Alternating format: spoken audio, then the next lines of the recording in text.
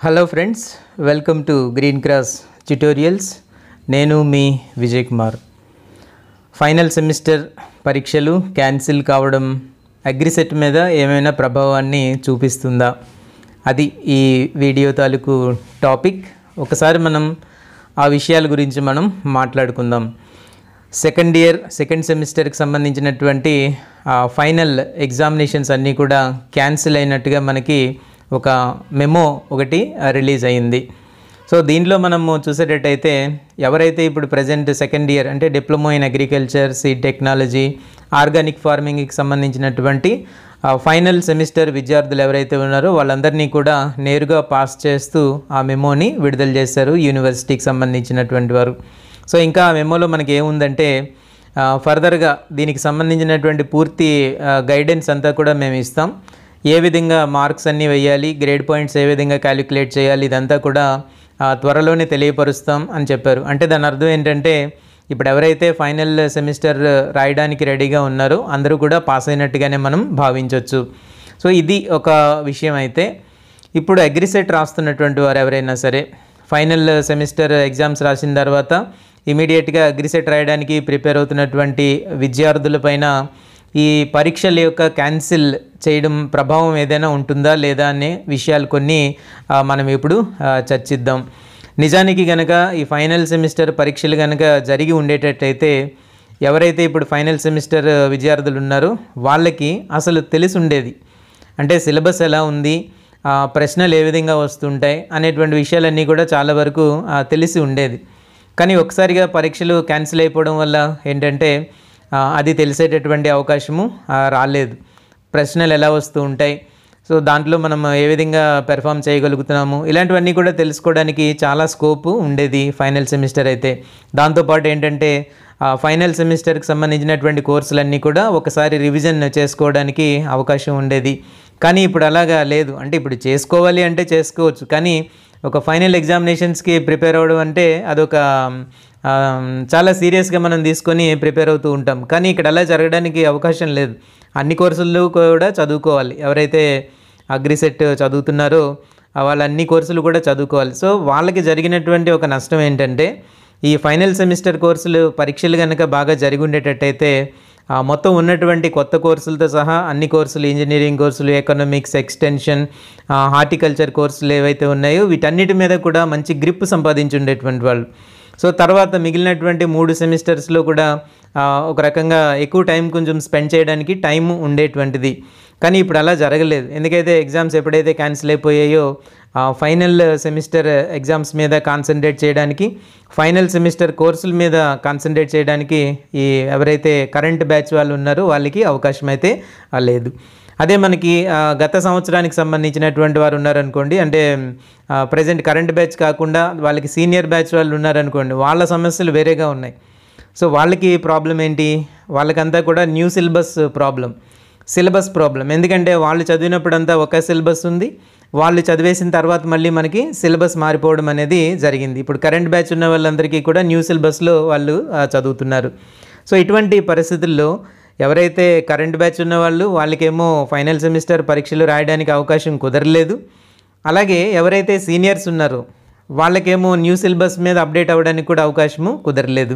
So ఇలాగా రెండు రకాలుగాను కూడా అగ్రిసెట్కి ఎవరైతే ప్రిపేర్ అవుతున్నారో వాళ్ళకి చాలా వరకు నష్టం జరిగిందని మనం చెప్పొచ్చు. సో ఇదొక నష్టాలు అనమాట దాంతోపాటు ఏంటంటే వీటిపైన పూర్తి అవగాహన అనేది చాలామంది వరకు లేదు. అగ్రిసెట్కి ఎవరైతే ప్రిపేర్ అవుతున్నారో ఈ సంవత్సరం అగ్రిసెట్కి ప్రిపేర్ అవుతున్నటువంటి వాళ్ళు ఎవరైతే ఉన్నారో వాళ్ళకి ఈ కోర్సుల పట్ల కానీ కొత్తగా మారినటువంటి కోర్సుల పట్ల కానీ సరైనటువంటి అవగాహన అనేది లేకుండా పోవడం జరిగింది. ఎవరైనా సరే అగ్రిసెట్కి ప్రిపేర్ అయ్యేటప్పుడు మొట్టమొదటి ప్రిన్సిపల్ లేకపోతే మొట్టమొదట మనం చేయవలసింది ఏంటంటే అసలు మనకి ఎన్ని కోర్సులు ఉన్నాయి అనేటువంటిది ఒక లిస్ట్ అవుట్ చేసుకోవాలి. అలాగే ప్రతి కోర్సుకి సంబంధించినంత వరకు ఆ లెక్చర్ అవుట్లైన్స్ తీసుకొని అన్ని లెక్చర్స్కి సంబంధించినటువంటి ఆ పాఠాలు మన దగ్గర ఉన్నాయా లేదా అనేది మనం చూడాలి ముందు. ఇది ఎవరు చేయటం లేదు.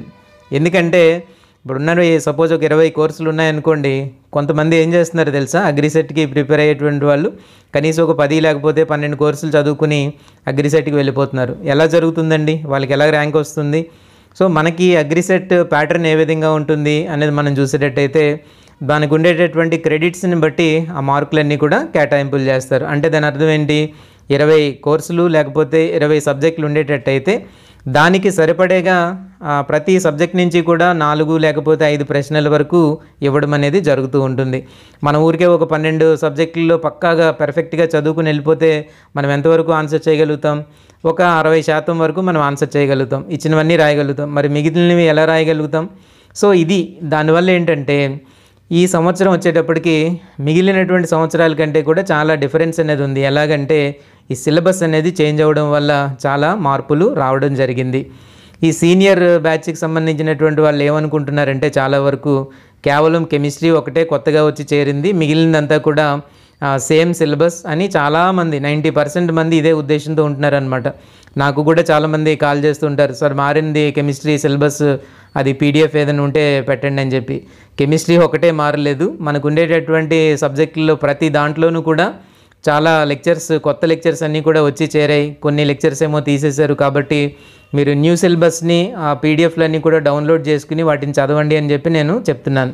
కాబట్టి అగ్రిసెట్కి ఎవరైతే ప్రిపేర్ అవుతున్నారో వాళ్ళు చేయాల్సినటువంటి నెంబర్ వన్ మొట్టమొదటి టిప్ ఏంటంటే వాళ్ళకి ఎన్ని కోర్సులు మనకు ఉన్నాయి అనేటువంటిది ముందు ఒక లిస్ట్ అవుట్ చేసుకోవాలి.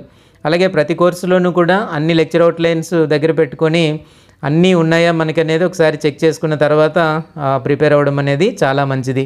సో ఇప్పుడు ఫైనల్ సెమిస్టర్ కరెంట్ బ్యాచ్ ఎవరైతే ఉన్నారో వాళ్ళకి కూడా మారినటువంటి సిలబస్ చాలా వరకు తెలియదు కొంతమందికి అయితే అసలు హార్టికల్చర్కి సంబంధించి రెండుగా విడగొట్టారని కూడా తెలియదు సో దాంట్లో కొన్ని కొన్ని క్రాప్స్ కొత్త ఉన్నాయని కూడా తెలియదు అదేవిధంగా ఎక్స్టెన్షన్ మనం తీసుకునేటట్టయితే దాంట్లో కొంత పార్ట్ కొత్తది యాడ్ చేశారు. సో ఆ కొత్తగా యాడ్ చేసినటువంటి పార్ట్ అంతా ఉందో లేదో కూడా తెలియదు ఇలాగనమాట. ప్రతి దాంట్లోనూ మనం ఒకసారి కోర్స్ వైజ్గా మనం చూసుకున్నప్పుడు ఏం జరిగిందంటే అగ్రోనమీ నుంచి కనుక మనం మొదలు పెడితే అగ్రోనమీలో ఇంతకు ముందు ఉండేటువంటి లెక్చర్లు చాలా వరకు తీసేసి ఫారెస్ట్రీలో ఉండేటటువంటి లెక్చర్స్ చాలా వరకు దాంట్లో యాడ్ చేయడం జరిగింది.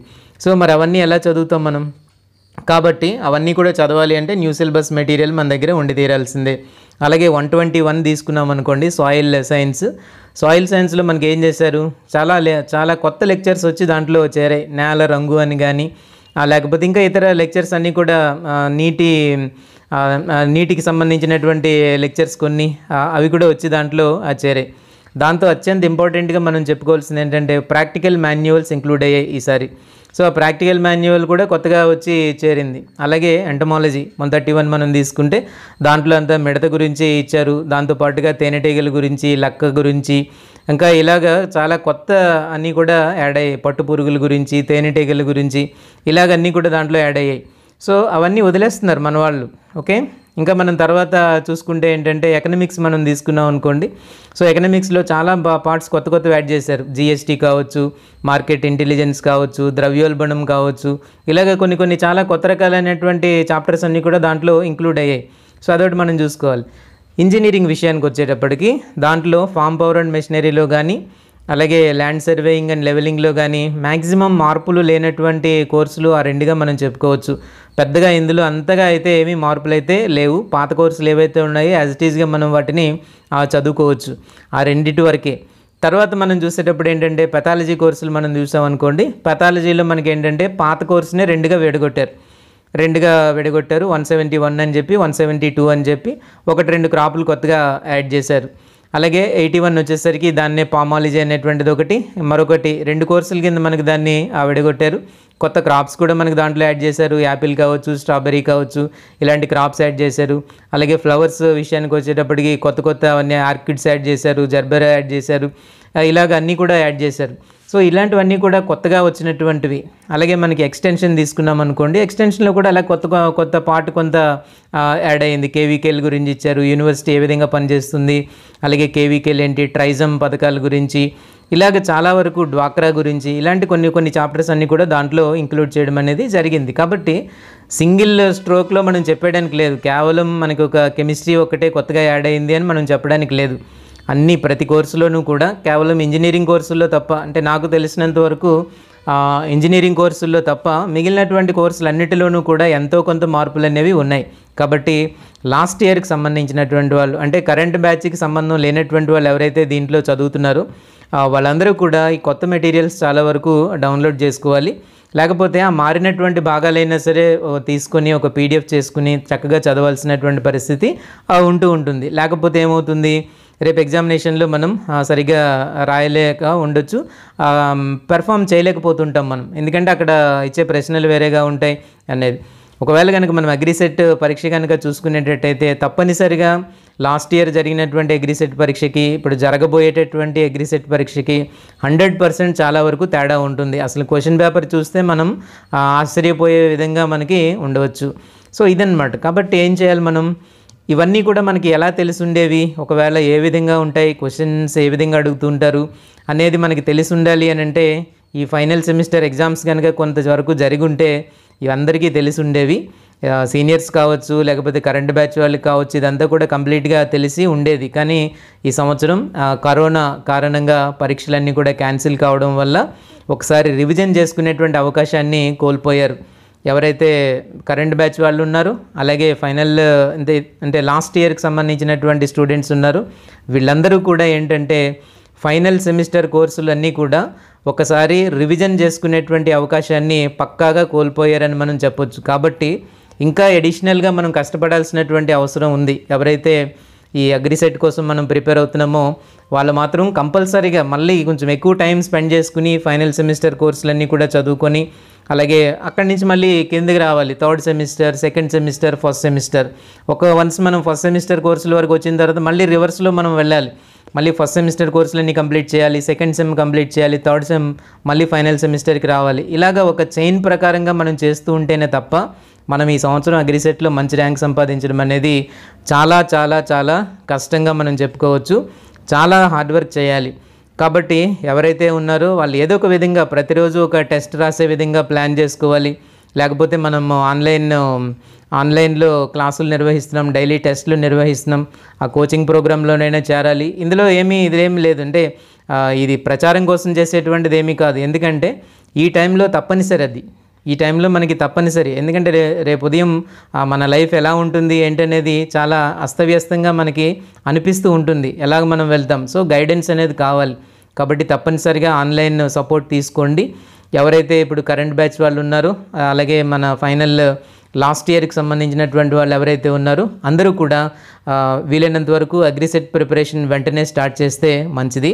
సో ఈ ఎగ్జామినేషన్స్ క్యాన్సిల్ చేయడం అనేటువంటిది చాలా ప్రభావాన్ని అయితే చూపెట్టిందని మనం చెప్పుకోవచ్చు. ఫైనల్ సెమిస్టర్ కోర్సులన్నీ కూడా ఒక్కసారి మనం రివిజన్ చేసుకునేటువంటి ఒక సువర్ణ అవకాశాన్ని మనం మిస్ అయ్యాయని మాత్రం హండ్రెడ్ పర్సెంట్ పక్కాగా మనం చెప్పుకోవచ్చు. కాబట్టి దాని నుంచి మనము బయటికి రావాలి అని అంటే మనం ఇంతకు ముందు చదివేదానికంటే కూడా మరింత ఎక్కువగా ప్రాక్టీస్ చేస్తేనే తప్ప దాని నుంచి మనము బయటపడలేము. కాబట్టి ఎవరైతే కరెంట్ బ్యాచ్ వాళ్ళు ఉన్నారో అన్ని కోర్సులు ఒకసారి చదువుకోవడానికి ప్రయత్నం చేయండి. అదేవిధంగా లాస్ట్ ఇయర్కి సంబంధించిన సీనియర్స్ ఎవరైతే రాయడానికి ప్రయత్నం చేస్తున్నారో ఏ కోర్సుల్లో మనకి కొత్త కొత్త లెక్చర్స్ అన్నీ యాడ్ అయ్యాయో అవన్నీ కూడా తప్పకుండా చదువుకోవడానికి ప్రయత్నం చేయండి ఇంక్లూడింగ్ కెమిస్ట్రీ సో కెమిస్ట్రీ కూడా తప్పనిసరిగా చదివి తీరాల్సినటువంటి పరిస్థితి. కనీసం దాని నుంచి ఆరు నుంచి ఏడు బిట్స్ వరకు తప్పకుండా వచ్చేటటువంటి పరిస్థితి ఉంది. మనం ఎట్టి పరిస్థితుల్లోనూ కూడా దాన్ని వదిలేయలేం. కాబట్టి చాలా అటెంటివ్గా మనం చదవాల్సినటువంటిది ఉంది. కాబట్టి హార్డ్ వర్క్ చేయండి కష్టపడండి. కష్టపడితే మనం సాధించలేనటువంటిది ఏది కూడా లేదు. అంటే కేవలం మాటల వరకే కాదు అది కష్టపడిన వాళ్ళకే తెలుస్తుంది. కష్టం తాలూకు కష్టం తాలూకు కష్టమేంటో వాళ్ళకే తెలుస్తుంది. కాబట్టి ఇలాంటి టైంలో ఇటువంటి కరోనా టైంలో మనకి ఇలా ఎగ్జామ్స్ క్యాన్సిల్ అయిపోయాయి అని మన గ్రేడ్ పాయింట్ ఒకవేళ దెబ్బతింటుందని ఏ విధంగానూ కూడా మీరు దిగులు పడకండి. అయిపోయింది అది. ఆ చాప్టర్ అక్కడతోటి కంప్లీట్ అయిపోయింది.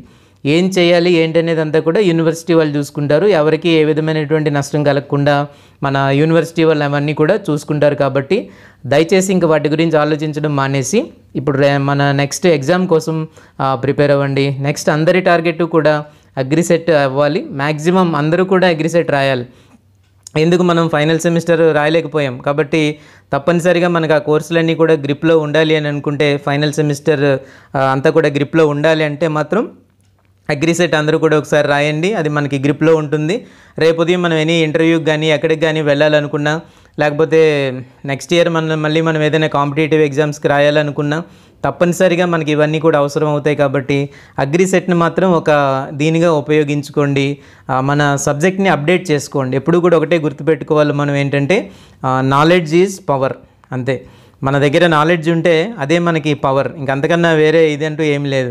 ఆ నాలెడ్జ్ అనేది ఏంటి? మన సబ్జెక్ట్ మీద మనకు ఉండేటటువంటి గ్రిప్ పట్టు ఉంటే కనుక అదే మనకు ఒక శక్తిలాగా పనిచేస్తుంది. మనం ఎక్కడికి వెళ్ళినా సరే అదే మనల్ని సేవ్ చేస్తుంది. ఓకే సో అందరికీ ఆల్ ది బెస్ట్ దీని గురించి నెగిటివ్గా ఏ విధంగానూ కూడా ఫీల్ అవ్వద్దు. మీరందరూ ప్రమోట్ అయిపోయారు కాబట్టి మీ అందరికీ కూడా ఎవరైతే ఫైనల్ సెమిస్టర్లో అందరూ కూడా ప్రమోట్ అయినటువంటి వాళ్ళందరికీ కూడా మళ్ళీ ప్రత్యేకంగా మీ అందరికీ కూడా కంగ్రాచులేషన్స్ తెలియజేస్తున్నాం మన అకాడమీ తరపున. ఎంజాయ్ చేయండి దీని గురించి డిప్రెస్ అవ్వద్దు. నెక్స్ట్ టార్గెట్ అగ్రిసెట్ అని టార్గెట్ పెట్టుకొని దానికి ప్రయత్నం చేయండి. దాంట్లో మంచి సక్సెస్ సాధించాలని చెప్పి దానికోసం మన ప్రయత్నం చేయండి. Thank you very much. All the best.